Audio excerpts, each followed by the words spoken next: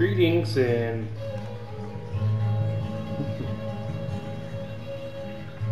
Greetings and welcome to FreedomBookClub.com's Book of the Month announcement for June 2013. My name is Ferb, and I am the managing editor of FreedomBookClub.com's uh, website, and I, you know, got a lot of duties as far as that's concerned. But let's get straight into it. Our Book of the Month for June 2013 is Full Asylum by Michael Eisenberg. Let me read to you a little bit about the book. It is a 374 page tome of fiction um, printed by Montefiore Press. Here's a little bit of a, re- a mini review from Karina Fabian of Fabianspace.com. Michael Eisenberg is a genius at political satire. Not just intelligent, but smart. He has a great combination of humor, from Abbott and Costello antics to biting wit. It's an absorbing read with fun characters. Enjoy the ride as Gilbert goes from a Dilbert-esque existence to an adventure worthy of 007 himself. And it sounds like that this is a very topical treatment of a subject which could be largely coinciding of Edward Snowden's case in the NSA leaking scandal. Anyway, so let's look at the voting totals, shall we? Um, with 59.6% of the vote, Michael Eisenberg beat out the other uh, the other books. Let's look at the totals here.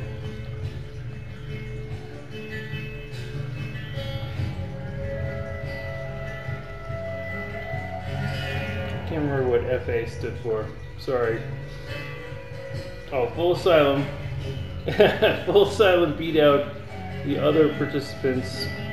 Received 20, 253.102 shares with 87 responses, uh, beating out uh, Two Cheers for Anarchy, which received 150.4 uh, shares with six responses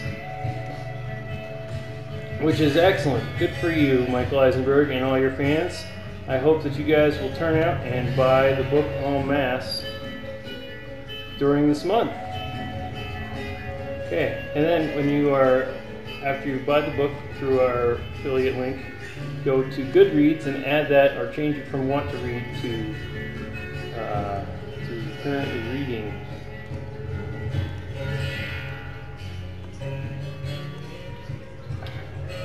Okay, so that's what that is. Now let's look at now let's look at our four finalists. Our four finalists this month are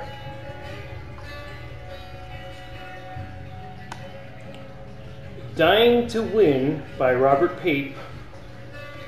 It's the strategic logic of suicide terrorism. And then there is Planned Chaos by Ludwig von Mises. This is an excerpt of a larger book. Uh, finalist C is Voluntary Islam and Other Essays by Davy Barker, or Davy Barker, as he likes to pr pronounce it. Sorry, Davy. Uh, and then finalist D is One Nation Under Blood by Taryn Lupo. So I will read to you some reviews. Um, Firstly, firstly, I will read to you the review or an excerpt of a review from for finalist A, Dying to Win by Robert Pape. That's right here.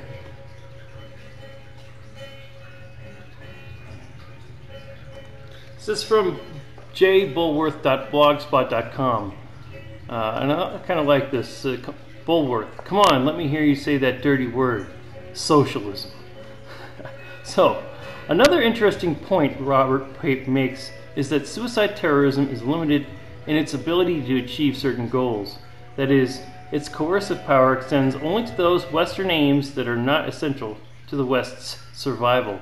If Western interests are per- peripheral to the suicide terrorist organization's goals, then suicide terrorism has been and may continue to be a successful tool for achieving the weaker actors' goals. However, if the goals of the West, such as the maintenance of access to oil supplies, are considered vitally important to the state's natural, national interests, the limited course of effective suicide terrorism may not be successful in driving the West out of the suicide terrorists' homelands. Pape's work is as much needed uh, is a much needed contribution to the quote marketplace of ideas end quote regarding the war on terrorism that until now has been sorely lacking both an intellectual as well as a political alternative to the current administration's set of policies. As, it, as is evident in Andrew Bacevich's The New American Militarism, Pape's analysis suggests that military power will be of limited use in combating suicide terrorism. America's leaders should begin to address this reality rather than continue to make stale threats about bringing the fight to the terrorists and relying on ever overextended military resources. As Iraq is demonstrating, our presence is generating as many problems as it is designed to cure. So, thank you, Jay Bulworth, for your review, and uh, please don't sue us for using it. Uh, all right, so the next review is from Planned Chaos by Ludwig von Mises. So let me get over to that.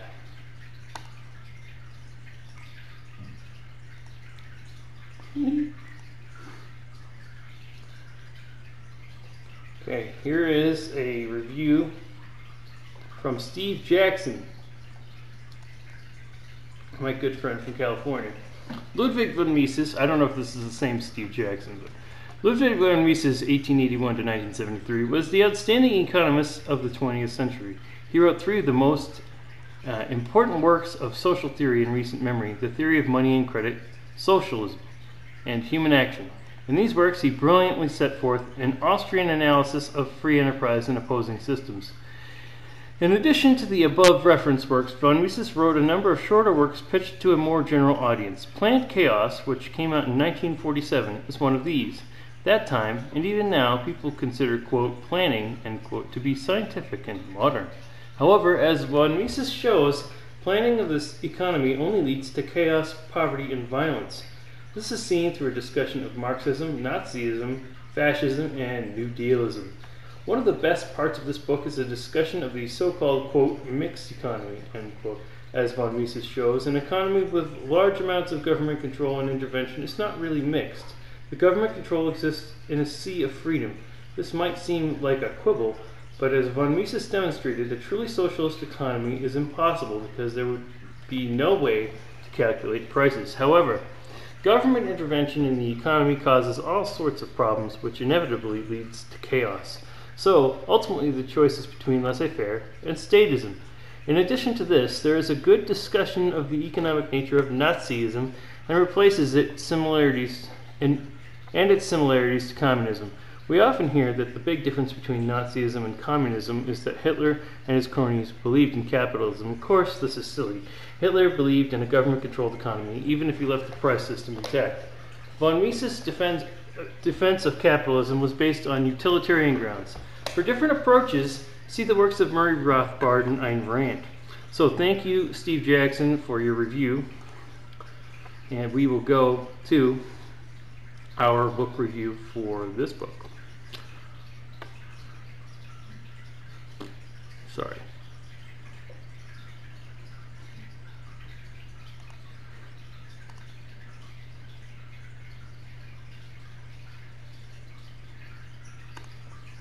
I wish I had a producer. anyway, here we go. The book review for Voluntary Islam and Other Essays by Davi Barker. I have a review from Asif Shiraz a customer from Amazon. Okay, a very engrossing, thoroughly enjoyed David's style of writings. Fresh, a lot of books on Islam that I had read came from outsiders' perspectives. In true, in true universal spirit of Islam, this book gives you the feel of a true and patriotic American writing about issues that are important for Americans from a perspective which they can better appreciate and understand. In this book, I felt like Islam actually at play to solve real world issues in cultures and societies vastly different from that in which it was revealed.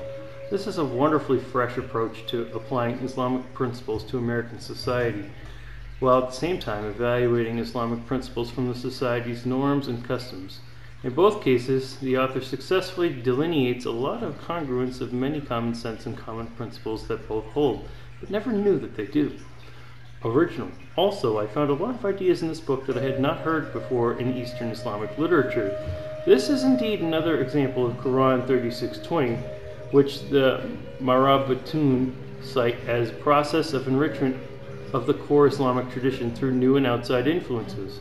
However, perhaps because I am not a quote full libertarian or maybe for simply being unfamiliar with some of the anarchist ideals, there are a few things that I would hesitate to fully agree to yet, but still, I can appreciate the discretion which this book takes, and I'm confident that further research on it will surely bring out brilliant new ideas and conclusions.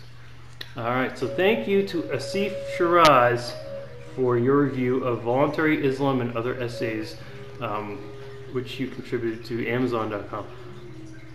Okay, so our finalist, final, our final finalist, finalist D, on freedombookclub.com is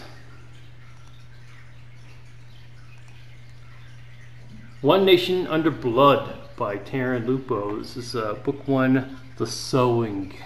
Sorry about the close up of my very bad part. Alright, so Taryn Lupo's One Nation Under Blood, finalist D, and we will read a review from another Amazon customer, Elizabeth Marshall. This is a book that will scratch your soul. It is a dark and dangerous look at a world where children are, quote, milked, end quote, for their life saving blood. Sounds far fetched on the face of it, but you know, reading the story and the comments from the author at the end makes you realize just how possible such a scenario is. I have children of my own, and this book frightened me. I was compelled to keep reading it, even though the idea was repulsive and terrifying. The honest truth is that I finished this story in a matter of hours and now can't stop thinking about it. I feel as though I've lived through some sort of apocalypse. I'm actually suffering survivor's guilt. How can that be? It was just a story, I keep telling myself. But was it? I took the author up on his offer to research some of the content of the book. He was right. Such things have actually come perilously close to being reality, could yet go on to be. I don't want to ruin the plot, so I won't say much more about the actual story, but I will tell you that this book is honest, it is incredibly well written, gripping, and entertaining. It will make you cry, and it will make you laugh. There is an easy flow between the characters that mimics real life superbly. Is impossible to read without connecting the lives of the people in it, and you will finish this book wanting more. Bravo, Mr. Lupo, on an absolutely brilliant story I recommend this to everyone, including my teenage sons. Read it, my friends. It will be, make you think, what if? All right. So, thank you to Elizabeth Marshall for posting that review of One Nation Under Blood Sowing uh, from the Kindle edition uh, on Amazon.com.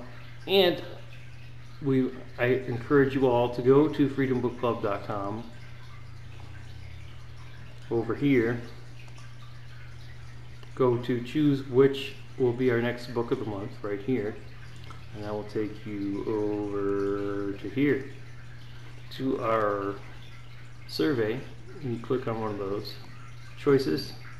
Then you put in your email send any suggestions hit vote now and I'm not voting so don't take whatever I clicked on as an indication of where I'm going to be placing my votes uh, then you can be included in all of our marketing materials and then go out and buy the book of the month once it's announced. Uh, and I appreciate you all for being here. Uh, go out and buy Full Asylum by Michael Eisenberg by clicking on our affiliate link right here. Paperback is a lot easier to get onto the top 100, so click on that Click add to cart. If you're a Prime member, you get free shipping. And then proceed to checkout. So, thanks so much for joining us. And we had um, I'm ambient music from a Salt Lake City group called Hidden Truth, which I think you can find in all of our books. Thank you. I'll be seeing you.